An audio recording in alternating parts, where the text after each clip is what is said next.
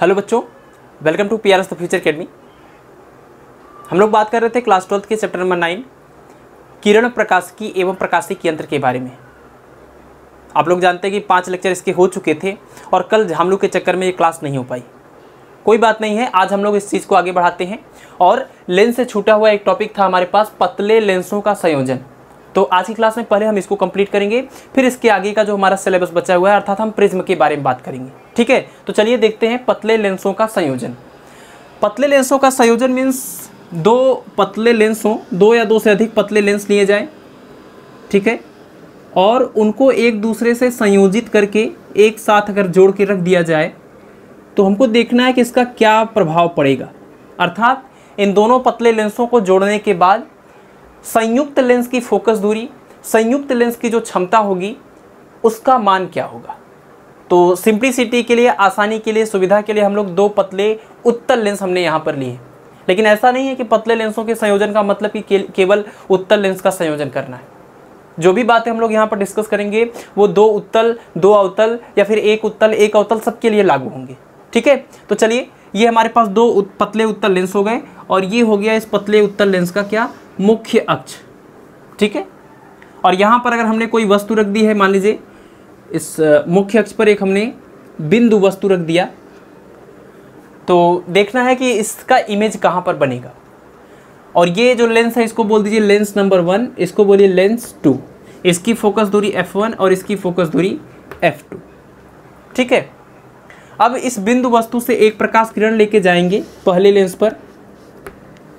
तो आप जानते हैं कि ये उत्तल लेंस है अभिसारी प्रकृति होती है इसकी, ये किरणों को मोड़ने का काम करता है। तो ये अपने ऊपर आपतित इस प्रकाश की किरण को मोड़ देगा। और जब ये मोड़ देगा तो ये प्रकाश किरण आगे की ओर बढ़ेगी। आगे आप देख रहे हैं कि एक और यहाँ पर लेंस रखा हुआ है।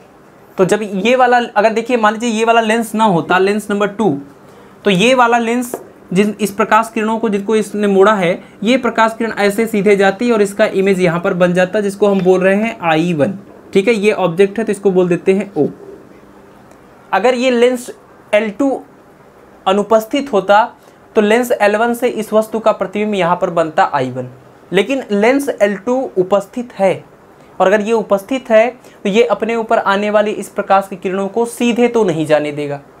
है ना? ये अभिसारी प्रकृति का लेंस है तो ये किरणों को मोड़ेगा ही मोड़ेगा।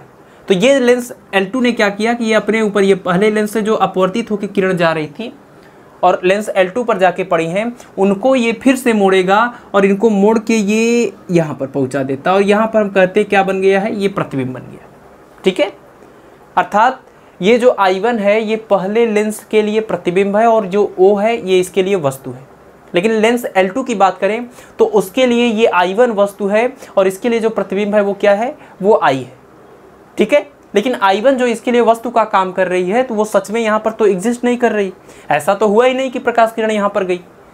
लेकिन ऐसा हमको लग रहा है कि अगर ये लेंस ना होता तो इस वाले वस्तु का प्रतिबिंब यहाँ पर बनता। लेकिन वो यहाँ नहीं बन के यहाँ बना है, इसका मतलब इस वाले लेंस ने इस चीज़ को यहाँ से यहाँ खिसका दिया है। ठीक है? इसलिए कहते हैं कि लेंस L2 के लिए I1 जो है वो एक आभासी वस्तु का कार्य करती है। है ना? वस्तु नहीं, आभासी वस्तु। वस्तु तो यहाँ पर रखा हुआ है, ठीक है? तो पहले लेंस के लिए ये वस्तु हो गई, ये प्रतिबिंब हो गया। दूसरे लेंस के लिए ये आभासी वस्तु हो गई और ये प्रतिबिंब हो गया, ठीक है? वस्तु की दूरी को आप जानते हैं, यू से प्रदर्शित करते हैं तो ये इसको ले लीजिए, इसके मिड से ले रहे हैं, मध्य से यू, और ये प्रतिबिंब की दूरी को बोल दे रहे हैं, वी, ठीक है? तो ऐसे केस में जो फार्मूला निकल के आता है संयुक्त लेंस के लिए, वो फार्मूला देखिए फोकस दूरी के रूप में अगर लिखें तो ये इस तरीके से आता है। One upon F is equal to one upon F one plus one upon F two. ये हो गया संयुक्त लेंस की फोकस दूरी और दोनों लेंसों की अलग अलग फोकस दूरी इन सब के बीच का संबंध कि वन अपान कैपिटल एफ़ बराबर one upon F one plus one upon F two. जहाँ पर F1 क्या है? पहले लेंस की फोकस दूरी F2 है, दूसरे लेंस की फोकस दूरी, और जो कैपिटल F है, वो है संयुक्त लेंस की फोकस दूरी। यानी ये जो कैपिटल F है, वो इन दोनों का तुल्य कह सकते हैं, तुल्य फोकस दूरी है। कि इन दोनों को हटा के कोई लेंस लगाएँ, और उसका इफ़ेक्ट कितना होगा तो ये उसी इफ़ेक्ट को दिखाने वाला ये फोकस दूरी। ठीक है? इसको संयुक्त लेंस की फोकस दूरी कहेंगे। अब आप ये भी जानते हैं कि लेंस की क्षमता का फार्मूला क्या होता है? लेंस की क्षमता पी बराबर होता है वन अपान एफ़ है ना? अब अगर ये वन अपान कैपिटल एफ़ लिखा है तो इसका मतलब कि ये संयुक्त लेंस की क्षमता को प्रदर्शित करेगा। और ये वन अपान एफ़ वन लिखा है तो इसका मतलब ये पहले लेंस की क्षमता को प्रदर्शित करेगा। इसी तरीके से ये दूसरे लेंस की क्षमता को प्रदर्शित करेगा। तो इस फार्मूले के आधार पर अगर हम इस वाले फार्मूले में मॉडिफिकेशन करें तो आप इसको क्या लिख सकते हैं? इसको लिख सकते हैं कैपिटल ये सॉरी पी कैपिटल पी बराबर P one plus P two है ना? अच्छा यहाँ पर एक चीज़ और ध्यान रखिए कि ये ज़रूरी नहीं है कि दो ही लेंसों का संयोजन हो। दो से ज़्यादा लेंसों का संयोजन हो सकता है। दो से ज़्यादा लेंसों का संयोजन हो सकता है, इसका मतलब आप इसी चीज़ को इसी पैटर्न में और आगे बढ़ा सकते हैं। ऐसे ही आप इस चीज़ को भी आगे, इसी को ऐसे आगे बढ़ा सकते हैं। ठीक है तो पी बराबर P one plus P two plus यानी जोड़ने, जोड़ते जाना है आपको। अगर आप चाहते हैं संयुक्त लेंस की क्षमता पता करें तो सभी लेंसों की क्षमताओं को जोड़ते जाइए। सभी अगर उत्तर लेंस होंगे तो उनकी सबकी क्षमताओं का मान प्लस में आएगा तो सब जुड़ जाएगा। अगर इसमें एक उत्तल है, एक अवतल है तो उत्तल का प्लस हो जाएगा, अवतल का माइनस हो जाएगा। ठीक है तो ये तो हो गया संयुक्त लेंस की क्षमता के लिए फार्मूला अब यहीं से एक और चीज़ देख लीजिए कि एक चीज़ आपने पढ़ा है, रेखीय आवर्धन। है ना? आवर्धन, जिसको एम से प्रदर्शित करते हैं। तो ध्यान रखना है कि लेंस की क्षमता इस प्रकार से पी बराबर P one plus P two plus something dot dot कर, इस टाइप का होता है, लेकिन जो आवर्धन होता है, संयुक्त लेंस का जो आवर्धन होता है, वो दोनों लेंसों की अलग अलग आवर्धन के योगफल नहीं, बल्कि गुणनफल के बराबर होता है। अर्थात आप ये लिख सकते हैं कि m बराबर क्या हो जाएगा? m बराबर M one into M two into M three and so on इस प्रकार से आप इसको लिख सकते हैं। ठीक है? तो पतले लेंसों के संयोजन में इतना ही आप याद रखेंगे। अब इसका डेरिवेशन तो है। अभी डेरिवेशन आपको करा नहीं रहे तो जब डेरिवेशन कराएँगे तो इसके बारे में हम डिस्कस करेंगे कि कैसे इससे ये फार्मूला आता है। ठीक है, ये काफ़ी इंपॉर्टेंट डेरिवेशन है और बहुत ही आसान भी है।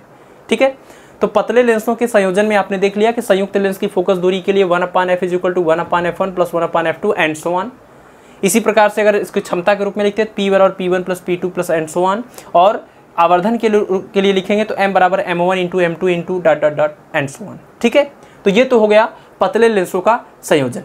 तो अब पतले लेंसों का संयोजन टॉपिक कंप्लीट हुआ। अब हम लोग बात करते हैं जो कि आज का हमारा टारगेट था दैट इज़ प्रिज्म चलिए तो सबसे पहले बात कर लेते हैं प्रिज्म की डिफिनीशन की।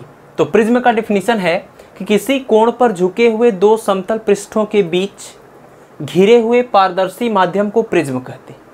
यानी दो समतल पृष्ठ हों, पारदर्शी हों तो उनके बीच में जो भी माध्यम पूरा भरा हुआ है, उसी को हम लोग बोलेंगे प्रिज्म जैसे कि इस चित्र में आप देखिए, ये दो समतल जैसे झोपड़ी होती है, झोपड़ी की जो आकृति होती है, बिल्कुल ये वैसा ही होता है। इसमें ये दो समतल पृष्ठ, एक ये है और एक जस्ट उसी के पीछे, इन दोनों समतल पृष्ठों के बीच जो ये घिरा हुआ पारदर्शी माध्यम है, इसी को हम प्रिज्म कहते हैं। सामान्यतः ये प्रिज्म हमारा कांच का बना हुआ होता है, ठीक है? तो दो समतल पृष्ठ होते हैं, ये कांच के ही पृष्ठ हैं।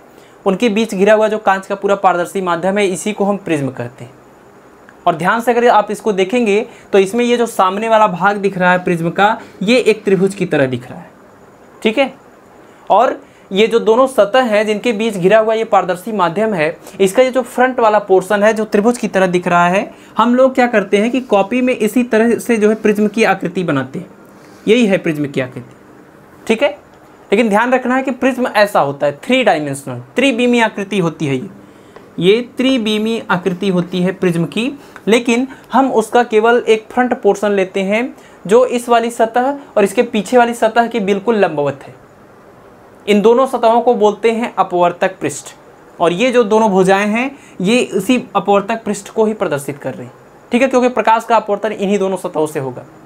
तो ये दो अपवर्तक पृष्ठ हो गए, और ये जो हमने यहाँ पर चित्र बनाया हुआ है, इस चित्र को बोलते हैं, इस प्रिज्म का क्या है? तो इसको बोलते हैं प्रिज्म का मुख्य परिच्छेद। ठीक है? इसको बोलते हैं प्रिज्म का मुख्य परिच्छेद। जिस पर ये प्रिज्म टिका हुआ है, इसको बोलेंगे प्रिज्म का आधार। ठीक है? ये प्रिज्म का आधार है। और ये जो दोनों सतह दिख रहे हैं, जैसे इस पर से प्रकाश किरण जाती है और इसमें से प्रकाश किरण निकलती है। और दोनों की दोनों सतहों से प्रकाश का अपवर्तन होता है, इसीलिए इन दोनों सतहों को बोलते हैं अपवर्तक पृष्ठ। ठीक है? तो ये दोनों अपवर्तक पृष्ठ हो गए। एक ये है और एक ये। ये दोनों प्रिज्म के अपवर्तक पृष्ठ हो गए। इसके अलावा शीर्ष पर यहाँ पर जो कोण बनता है, इस कोण को हम ए से प्रदर्शित करेंगे हमेशा। और जो कोण ए है, उसको क्या बोलते हैं? तो कोण ए को बोलते हैं प्रिज्म कोण। ठीक है? प्रिज्म कोण। चलिए। और इसको बोल दीजिए बी और इसको बोल देते हैं सी तो ए बी सी इस एक त्रिभुज का मुख्य परिच्छेद है। बी सी भुजा को बोलेंगे प्रिज्म का आधार और ए बी और ए सी को बोलेंगे अपवर्तक पृष्ठ और कोण ए को बोलेंगे प्रिज्म कोण। ठीक है? तो इतनी चीज़ें आपको याद रखनी है। अब अगर कोई आपसे पूछता है कि बताइए प्रिज्म में कितने फलक होते हैं, कितने सतह होते हैं तो आप यहाँ से देखेंगे तो आपको लगेगा एक, दो और तीन। लेकिन ध्यान रखिए कि ये प्रिज्म की ओरिजिनल जो फिगर होता है, ये वो नहीं प्रिज्म इस तरीके का होता है। ये तो हमने पढ़ने के लिए स्टडी करने के लिए कि किस तरीके से प्रिज्म से प्रकाश का अपवर्तन होता है, हमने ये चित्र बनाया है आसानी के लिए। लेकिन प्रिज्म ऐसा होता है जो कि एक त्रिविमी आकृति है। और इसमें आप ध्यान से देखेंगे तो आपको एक ये सतह दिख रहा है, एक इसके जस्ट पीछे, एक ये सामने और एकदम ये पीछे और एक नीचे की तरफ़। कुल मिला के प्रिज्म में कुल पाँच सतह होते हैं या पाँच फलक होते हैं। ठीक है? तो ध्यान रखेंगे आप कि प्रिज्म में कुल पाँच फलक होते हैं। ठीक है? प्रिज्म में कुल पाँच फलक होते हैं और ये त्रिबीमी आकृति होती है। अगर आप किसी प्रिज्म के ऊपर प्रकाश किरण को डालेंगे तो चूँकि ये पारदर्शी माध्यम है तो आप जानते हैं कि जब प्रकाश किरण एक पारदर्शी माध्यम से दूसरे पारदर्शी माध्यम में जाती है तो उसका अपवर्तन होता है। तो इस पर से अगर प्रकाश किरण जाएगी तो इस पे से उसका भी अपवर्तन हो जाएगा। तो अभी तो ये हो गया प्रिज्म से रिलेटेड जानकारियाँ कि इसमें कौन कौन से टर्म को हम क्या बोलेंगे। अब हम लोग बात करने वाले हैं कि इस प्रिज्म से जब प्रकाश किरण आपती इससे गुजरती है तो उसका अपवर्तन किस आधार पर होता है? तो चलिए देखते हैं। तो ये मैंने एक प्रिज्म का जो है, बड़ा चित्र बना दिया है और इस चित्र की मदद से हम समझेंगे कि प्रिज्म से प्रकाश का अपवर्तन किस प्रकार से होता है। ठीक है? इसमें मैंने आपको बता दिया है कि ये शीर्ष पर जो कोण बनता है, इसको प्रिज्म कोण और ये जो भुजा बीसी है, इसको प्रिज्म का आधार बोलेंगे और इन दोनों सतहों का, इन दोनों सतहों को बोलेंगे अपवर्तक पृष्ठ या अपवर्तक सतह। ठीक है? अब देखिए अगर इस प्रिज्म के अपवर्तक पृष्ठ ए बी जो है, अपवर्तक पृष्ठ ए बी पर कोई प्रकाश की किरण आपतित करें इस प्रकार से। ये कोई आपतित प्रकाश की किरण है, ठीक है? सबका नाम भी लिखते चलेंगे। ये आपतित किरण है। आपतित किरण बोलेंगे इसको, ठीक है? कोई भी किरण जो प्रिज्म पर, लेंस पर, दर्पण पर आके गिरती है, उसको आपतित किरण ही बोलते तो ये एक आपतित किरण है जो इस प्रिज्म के सतह ए बी पर आके गिर रही है और इसको नाम रख देते हैं पी और इसको नाम रख देते हैं इस बिंदु को क्यू ठीक है? तो पी क्यू एक आपतित किरण है जो इस प्रिज्म के अपवर्तक सतह ए बी पर आके बिंदु क्यू पर आपतित होती है। तो आप जानते हैं कि जब प्रकाश किरण एक पारदर्शी माध्यम से दूसरे माध्यम में जाती है तो वो अपने मार्ग से विचलित होती है। अब ये प्रकाश किरण वायु से कांच में जा रही है तो ये भी विचलित होगी। तो अब ये इंपॉर्टेंट है कि ये प्रकाश किरण विचलित होकर किधर जाएगी? तो याद कर लीजिए आप, फिर से मैं बता रहा हूँ कि जब प्रकाश किरण विरल माध्यम से सघन माध्यम में जाती है तो वह अभिलंब की ओर झुक जाती है। और जब प्रकाश किरण सघन माध्यम से विरल माध्यम में जाती है तो वह अभिलंब से दूर हट जाती है। तो यहाँ का केस ये है कि प्रकाश किरण विरल से सघन में जा रही है। और विरल से सघन में प्रकाश किरण जा रही है तो अभिलंब से अभिलंब की ओर झुक जाएगी। तो सबसे पहले तो हम इस बिंदु क्यू पर, आपतन बिंदु क्यू पर एक अभिलंब बना ले इस सतह ए बी पर, ठीक है? और वो अभिलंब बना लेंगे तो हमको पता चल जाएगा प्रकाश किरण को किस तरफ़ मोड़ना है, ठीक है? तो यहाँ पर जो अभिलंब बनाएँगे, वो अभिलंब देखिए, इस बिंदु क्यू पर अभिलंब बनाना है सतह से, नब्बे अंश का कोण बनाते हुए तो ये इस प्रकार से बनेगा, ये, ठीक है? ये हो गया अभिलंब, यानी कि नॉर्मल इसको बोल दीजिए N one normal number one अब आप देखिए कि ये प्रकाश किरण, ये जो है, इस प्रकाश किरण को इस प्रकार से आगे बढ़ना था। लेकिन चूँकि ये विरल से सघन में जा रही है तो ये इस अभिलम्ब की ओर ऐसे न जाके अभिलम्ब की ओर झुक जाएगी तो ये यहाँ से ऐसे जाती है। ठीक है? झुक के या अभिलम्ब की ओर झुकते हुए ऐसे आगे सीधे जाती है। ठीक है? अब देखिए, इसको आपने पी क्यू नाम दिया था तो इसको नाम देते हैं बिंदु को आर और ये जो किरण दिख रही है क्यू आर तो ये पी क्यू को आपतित किरण हमने बोला और क्यू आर को क्या बोलेंगे? तो क्यू आर को बोल सकते हैं अपवर्तित किरण। ठीक है? आपतित किरण और अपवर्तित किरण। इसके बाद अब आप फिर से देख रहे हैं कि प्रकाश किरण अब दोबारा ये सघन से बिरल में जा रही है। तो सघन से बिरल में प्रकाश किरण जाती है तो फिर से इसका विचलन होता है और प्रकाश किरण अविलंब से दूर हट जाती है। तो फिर से हम इस सतह पर इस बिंदु क्यू आर से गुजरता हुआ एक अभिलंब बनाएँगे और जब प्रकाश किरण आगे निकलेगी तो वह अभिलंब से दूर हट जाएगी। तो चलिए इसका अभिलंब बना लेते हैं। इस बार जो अभिलंब बनेगा बिंदु आर पर और बिंदु आर पर जो अभिलंब बनेगा, इस सतह AC के लंबवत होना चाहिए। तो सतह से ये लंबवत और बिंदु आर से गुजरने वाला अभिलंब हो गया, यानी नॉर्मल नंबर टू और इस बिंदु को नाम दे देंगे बिंदु आर ठीक है? चलिए।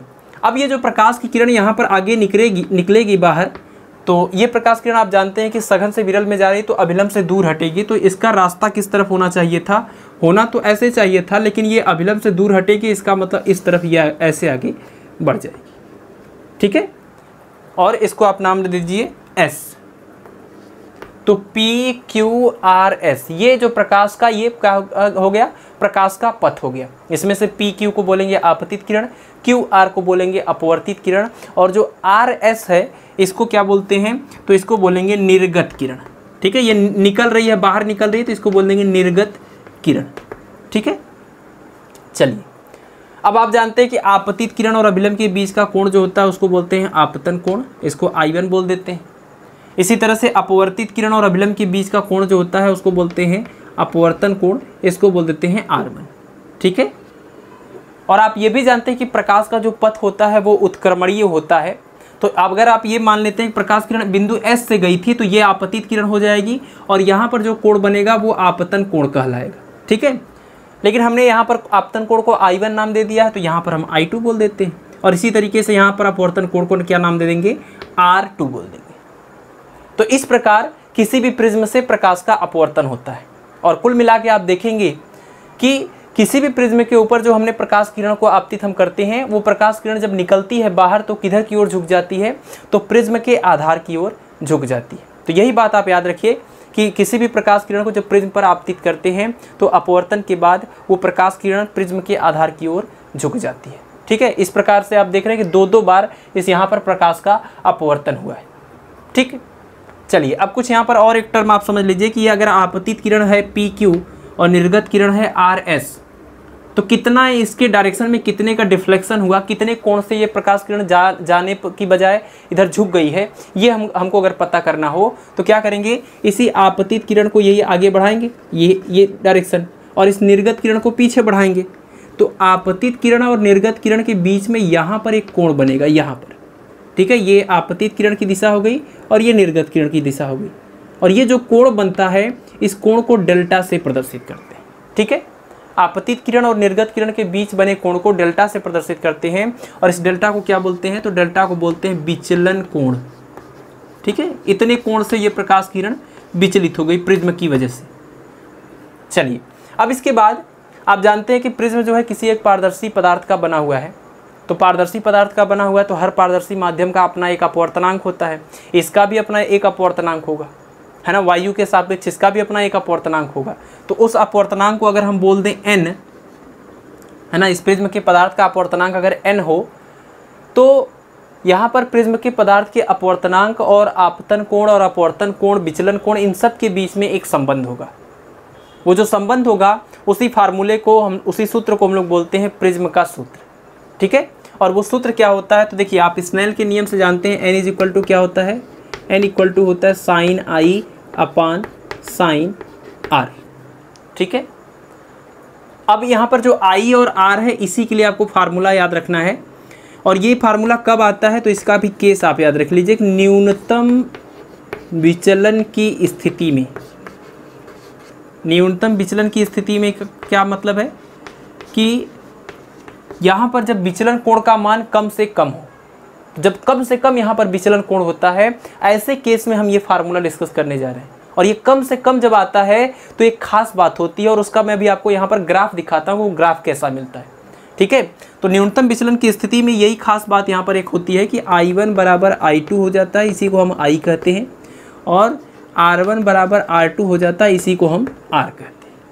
और आई और आर की जो वैल्यू आती है वो विचलन कोण, न्यूनतम विचलन कोण और प्रिज्म कोण से कैसे संबंधित है? तो आई के लिए फार्मूला निकल के आता है आई बराबर A plus del M upon two और आर के लिए निकल के आता है आर बराबर क्या? ए अपान टू ठीक है? तो आई और आर का मान आप याद रखिए, ये भी अपने आप में एक फार्मूले हैं। कई बार ऐसा होता है कि प्रिज्म कोण का मान दिया जाता है और आपसे अपवर्तन कोण का मान पूछ लिया जाता है या प्रिज्म कोण और न्यूनतम विचलन कोण का मान देके आपसे आपतन कोण का मान पूछ लिया जाता है। ठीक है? तो आप इसको भी एज ए फार्मूला याद रख रख सकते हैं। और यही दोनों मान, जब आप यहाँ पर ये जो स्नेल का नियम है, ये जो फार्मूला है, इसमें आप रख देंगे तो क्या मिलेगा? N is equal to sine A plus delta M upon two और divided by sine A upon two ठीक है? ये जो फार्मूला आया इसको बोलते हैं प्रिज्म फार्मूला, प्रिज्म का सूत्र। ठीक है? ये है प्रिज्म सूत्र। तो ये प्रिज्म सूत्र किसके किसके बीच में संबंध बता रहा है? तो प्रिज्म सूत्र जो है, ये प्रिज्म के पदार्थ के अपवर्तनांक, प्रिज्म कोण, न्यूनतम विचलन कोण के बीच में एक संबंध बताता है। ठीक है? ये एक इंपॉर्टेंट फार्मूला है और इसका डेरिवेशन भी आपके सिलेबस में है। अब यहाँ पर सवाल यही आता है, आपके दिमाग में आ रहा होगा कि ये न्यूनतम विचलन कोण क्या है? विचलन कोण तो आपने देख लिया। कि आपतित किरण और निर्गत किरण के बीच के कोण को विचलन कोण कहते हैं। लेकिन न्यूनतम विचलन कोण डेल एम का क्या मतलब है?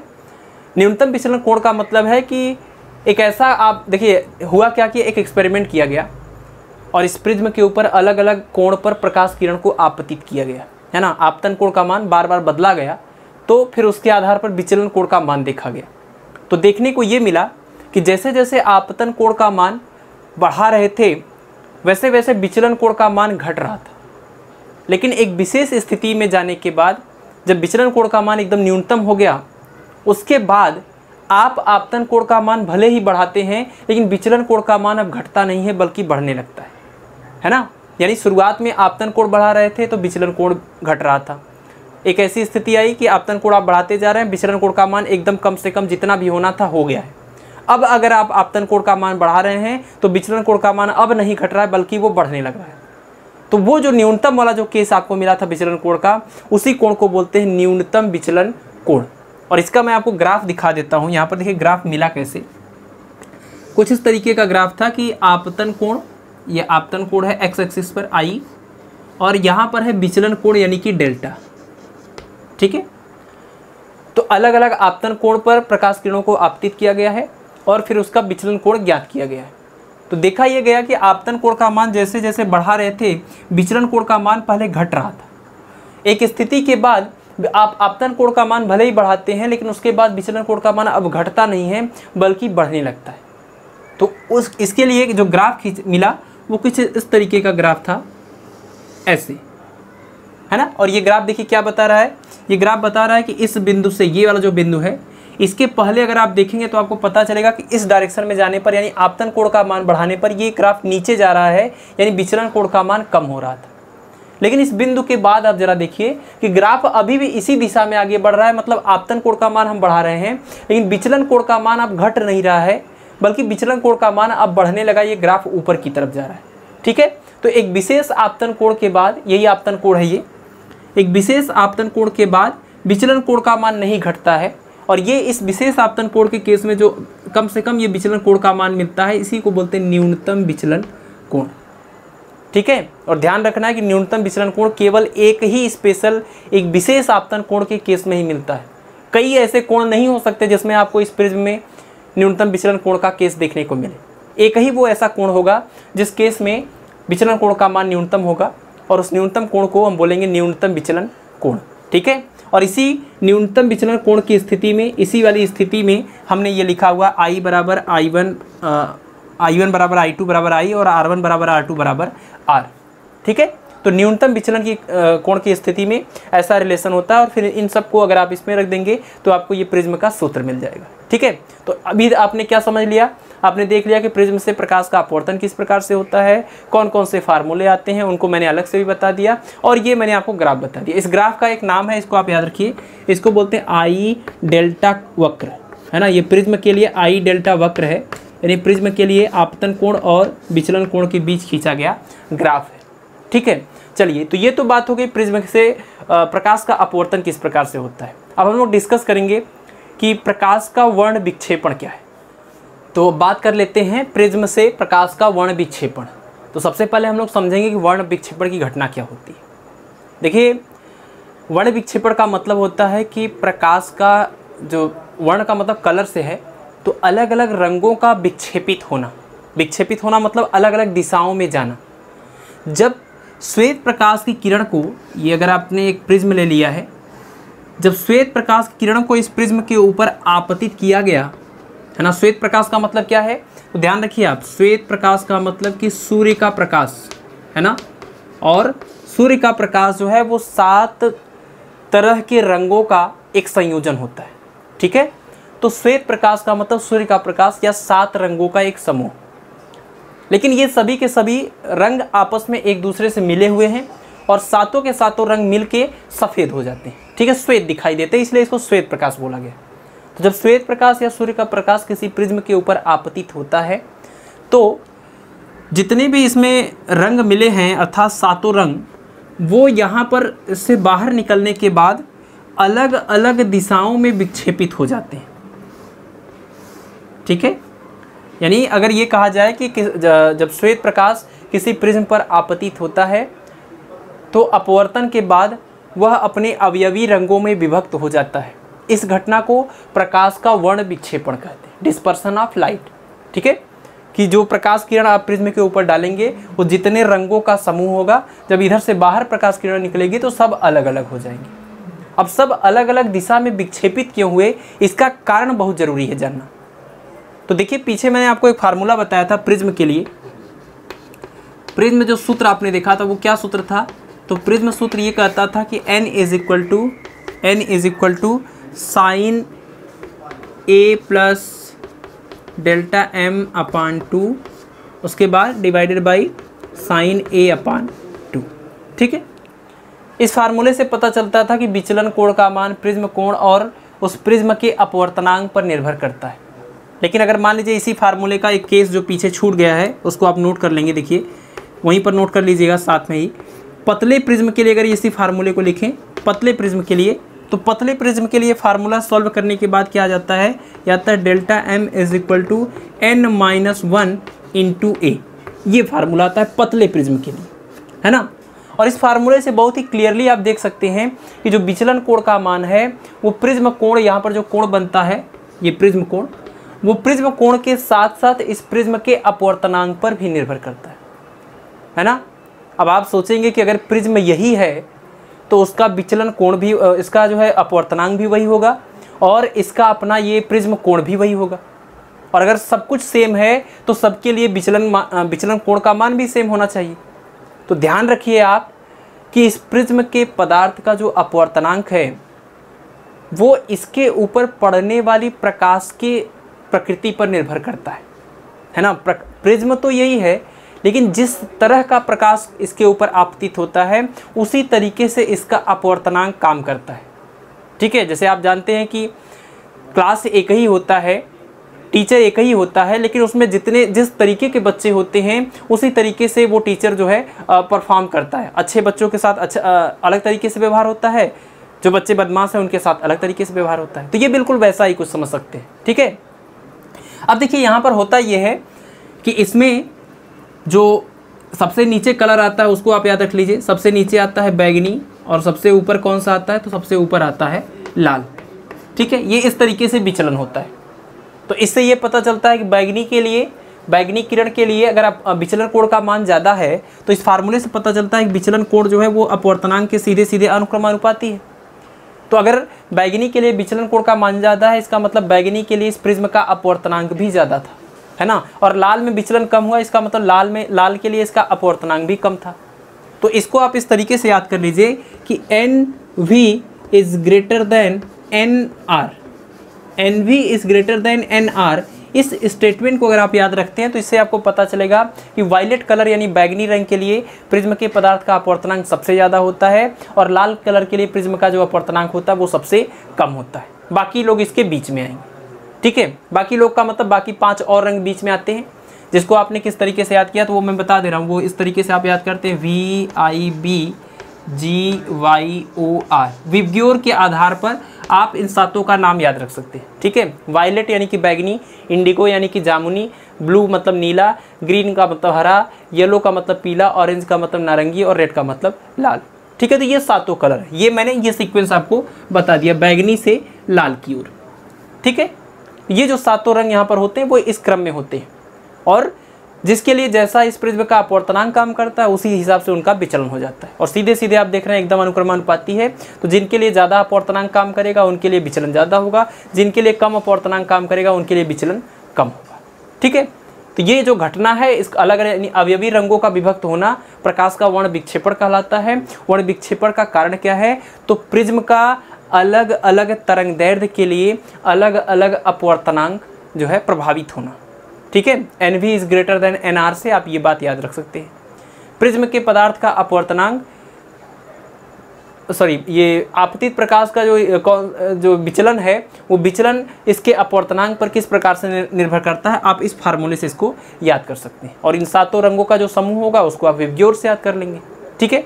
अब यहीं पर एक और बात याद कर लीजिए। देखिए, बैगनी से लेकर लाल तक का जो ये तरंग दैर्ध्य होता है, यानी श्वेत प्रकाश के तरंग दैर्ध्य का जो रेंज होता है, वो कहाँ से लेकर कहाँ तक? तो ये होता है 400 नैनोमीटर से लेकर 400 नैनोमीटर से लेकर 750 नैनोमीटर तक। ठीक है, अगर कोई आपसे पूछता है कि श्वेत प्रकाश का स्पेक्ट्रम कहाँ से लेकर कहाँ तक होता है तो आप बता सकते हैं 400 नैनोमीटर से 750 नैनोमीटर तक। है ना? और एक नैनोमीटर क्या होता है? तो एक नैनोमीटर बराबर दस के घात माइनस नौ मीटर ठीक है? ये मुख्यतः प्रकाश की तरंग दैर्ध्य को प्रस्तुत व्यक्त करने के लिए नैनोमीटर या एंगस्ट्राम का प्रयोग किया जाता है। ठीक है? तो ये तो रहा श्वेत प्रकाश का जो है स्पेक्ट्रम यानी उसका रेंज हो गया। 400 नैनोमीटर से लेकर 750 नैनोमीटर तक। तो इस घटना को आप याद रखिए। इस घटना को बोलते हैं प्रकाश का वर्ण विक्षेपण। अब इसके बाद हम लोग बात करेंगे सूर्य के प्रकाश की वजह से होने वाली प्रकृति में कुछ घटनाओं के बारे में। तो चलिए देखते हैं, इसको आप नोट कर लीजिए, आगे का टॉपिक देखते हैं। तो सूर्य के प्रकाश के कारण होने वाले प्राकृतिक घटनाओं में सबसे पहले हम लोग बात करेंगे प्रकाश के प्रकीर्णन की, यानी स्कैटरिंग ऑफ़ लाइट तो देखिए, प्रकाश के प्रकीर्णन का, जैसा कि नाम में लिखा है, प्रकीर्णन। प्रकीर्णन का मतलब होता है बिखर जाना, फैल जाना। जब भी प्रकाश की किरण धूल और धुएँ के कणों पर छोटे छोटे कणों पर आके गिरती है तो उसके बाद उस प्रकाश की किरण का जो है प्रकीर्णन हो जाता है, अर्थात वो चारों तरफ़ फैल जाती है। ठीक है? यानी अगर ये हम कुछ धूल और धुएँ के कुछ छोटे छोटे कण ले लिए जाएँ, ले लें, जो हमारे वायुमंडल में उपस्थित होती है तो इस पर जब प्रकाश किरण यहाँ से प्रकाश किरणें ऐसे जाती हैं तो इन कणों से टकराने के बाद ये प्रकाश किरण यहाँ पर कुछ इस प्रकार से यहाँ पर बिखर जाती ठीक है? और कुछ मात्रा फिर आगे भी जाती इसी घटना को बोलते हैं प्रकाश की, प्रकाश का प्रकीर्णन। यानी जब सूर्य का प्रकाश या श्वेत प्रकाश हमारे वायुमंडल में उपस्थित धूल और धुएँ के कणों से होकर गुजरता है तो उसकी अधिकांश मात्रा यहीं पर बिखर जाती है। है ना? ये धूल और धुएँ के कण हैं। ठीक है? तो यहाँ पर अधिकांश मात्रा इसकी बिखर जाती है। इसी घटना को बोलते हैं प्रकाश का प्रकीर्णन। ध्यान रखिए कि प्रकाश के प्रकीर्णन की वजह से ही हमको प्रकृति में कुछ बहुत ही सुंदर घटनाएँ देखने को मिलती हैं। जैसे प्रकाश के प्रकीर्णन की वजह से ही सुबह और शाम के समय सूर्य हमको लाल दिखाई देता है। और इसका, ये इसका आप एक्सप्लानेशन कैसे दे सकते हैं? मान लीजिए ये अगर पृथ्वी है तो सुबह और शाम के समय पृथ्वी और सूर्य के बीच की दूरी सबसे ज़्यादा होती है है ना? और दूरी जब सबसे ज़्यादा होती है तो यहाँ से प्रकाश किरणें आती हैं तो यहाँ पर रास्ते में इनका प्रकीर्णन ज़्यादा हो जाता है और इधर भी प्रकीर्णन ज़्यादा हो जाता है। तो आप कहेंगे प्रकीर्णन ज़्यादा हो जाता है तो लाल ही क्यों दिखाई देता है? ठीक है? ये सवाल उठेगा मन में। और इसका सोल्यूशन दिया था साइंटिस्ट लार्ड रैले ने, ठीक है? लार्ड रैले ने एक नियम बताया और उसके आधार पर आप समझ सकते हैं प्रकाश का प्रकीर्णन किस रंग का ज़्यादा होता है, किस रंग का कम। लार्ड रैले के अनुसार प्रकाश के प्रकीर्णन की मात्रा प्रकीर्णन की मात्रा proportional to one upon lambda power four होता है। ठीक है, ये स्टेटमेंट आपको याद रखना है कि लार्ड रैले के अनुसार प्रकीर्णन की मात्रा proportional to one upon lambda power four मतलब जिस रंग का तरंग दैर्घ्य जितना ज़्यादा होगा, उसका प्रकीर्णन उतना कम होगा। यानी एक दूसरे के बिल्कुल व्युत्क्रमानुपाती है। ठीक है? एकदम उल्टा रिलेशन है। तो आपने देखा था ना विवग्योर में जो अभी मैंने नाम बताया, बैगनी से लेकर लाल तक विवग्योर का ये जो पूरा सीक्वेंस होता है, इसमें नीचे से ऊपर की तरफ़ जब जाते हैं तो तरंग दैर्घ्य का मान बढ़ता है। इसका मतलब कि सबसे कम तरंग दैर्ध्य बैगनी का है। आपने देखा था 400 नैनोमीटर से स्टार्ट होता है और सबसे ज़्यादा तरंग दैर्ध्य किसका होता है? लाल का होता है, जो कि 750 नैनोमीटर पर ख़त्म होता है। ठीक है? तो इसका मतलब कि अगर बैगनी का तरंग दैर्ध्य सबसे कम है तो इस फार्मूले के अनुसार बैगनी का प्रकीर्णन सबसे ज़्यादा होगा और लाल का तरंग दैर्ध्य सबसे ज़्यादा है तो उसका प्रकीर्णन सबसे कम होगा। तो यही कारण होता है कि यहाँ से ये जो सातों रंग यहाँ से चलते हैं, श्वेत प्रकाश जो चलता है, उस श्वेत प्रकार में से बैगनी, जामुनी, नीला, इन रंगों का तरंग दैर्घ्य कम होने की वजह से इनका प्रकीर्णन इधर रास्ते में ज़्यादा हो जाता है धूल और धुएँ के कणों में। ठीक है? जबकि लाल रंग का तरंग दैर्घ्य सबसे ज़्यादा है तो इसलिए इसका सबसे कम प्रकीर्णन होता है और यही सबसे ज़्यादा मात्रा में हमारे पास यहाँ पृथ्वी पर पहुँच पाता है। ठीक है? तो श्वेत प्रकार में श्वेत प्रकाश में से अधिकांश रंगों का इतनी दूर, दूरी तय करने के बाद अधिकांश रंगों का, अधिकांश तरंग दैर्ध्य का जो है रास्ते में प्रकीर्णन हो जाता है। सबसे ज़्यादा मात्रा में, सबसे ज़्यादा तीव्रता में हमारे पास लाल प्रकाश पहुँचता है, इसीलिए हमको सूर्य सुबह और शाम के समय लाल दिखाई दे जाता है। ठीक है, जबकि आप दोपहर की अगर बात करें तो दोपहर में आप जानते हैं कि सूर्य और पृथ्वी के बीच की दूरी बहुत कम होती है। और इतनी कम होती है कि लगभग सभी तरंग तरंगदैर्घ्य की प्रकाश किरणें पृथ्वी तक पहुँच पाती हैं। सातों रंग आते हैं और सातों रंग जब आते हैं तो ये कुल मिला के हमको श्वेत दिखाई देता है है ना? तो दोपहर के समय ये हमको श्वेत दिखाई देता है लेकिन सुबह और शाम के समय ये हमको लाल दिखाई देता है प्रकाश के प्रकीर्णन की वजह से। ठीक है? इसी प्रकाश के प्रकीर्णन की वजह के, के से रिलेटेड कुछ और भी घटनाएँ हैं जैसे आसमान का नीला दिखाई देना। है ना? पृथ्वी पर से अगर हम आसमान को देखें तो ये हमको ये नीला दिखाई देता है। इसका कारण क्या है? इसका कारण है प्रकाश का प्रकीर्णन क्योंकि आप जानते हैं कि जब ये प्रकाश किरण ऐसे जा रही थी तो इसमें से ज़्यादातर बैगनी, नीले रंग के प्रकाश के तरंग दर्द की जो है क्या हो गया? यहाँ पर प्रकीर्णन हो गया। और वही नीले रंग यहाँ पर आसमान में बिखरे हुए हैं, जो हमको नीला नीला आसमान दिखाई देता है। ठीक है? ध्यान रखना है कि आसमान का रंग नीला दिखाई देने के लिए जिम्मेदार है प्रकाश का प्रकीर्णन और अगर आप पृथ्वी पर रह रहे हैं पृथ्वी पर ही रहते होंगे। पृथ्वी पर अगर रह रहे हैं तो इसके चारों ओर वायुमंडल है और इसी वायुमंडल में धूल और धुएँ के कणों की वजह से ये प्रकाश का प्रकीर्णन हुआ है। लेकिन अगर मान लीजिए आप चंद्रमा पर चले जाएँ, है ना, चंद्रमा पर, जिसके आसपास कोई वायुमंडल नहीं है तो यहाँ पर कोई वायुमंडल नहीं है तो यहाँ पर प्रकाश का प्रकीर्णन भी नहीं होगा। और प्रकाश का प्रकीर्णन नहीं होगा तो आसमान आपको कैसा दिखाई देता है? तो यहाँ पर जो आसमान है, वो आपको काला दिखाई देता है। ठीक है? तो ध्यान रखना है कि चंद्रमा पर वायुमंडल न होने की वजह से वहाँ पर प्रकाश का प्रकीर्णन नहीं होता, इसीलिए आसमान काला दिखाई देता है। जबकि पृथ्वी के चारों ओर वायुमंडल है और यहाँ पर धूल और धुएँ के कणों की वजह से प्रकाश का प्रकीर्णन होता है। ज़्यादातर बैगनी और नीले रंगों का प्रकीर्णन होता है, इसीलिए हमको आसमान नीला दिखाई देता है। ठीक है? ये सवाल आप ध्यान रखेंगे। तो प्रकाश के प्रकीर्णन की वजह से ये घटनाएँ देखने को मिलती है।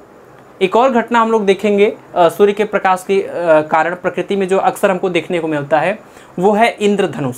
तो सूर्य के प्रकाश के कारण होने वाली प्राकृतिक घटनाओं में लास्ट है ये, इंद्रधनुष का बनना। काफ़ी इंपॉर्टेंट है ये और काफ़ी इंटरेस्टिंग भी।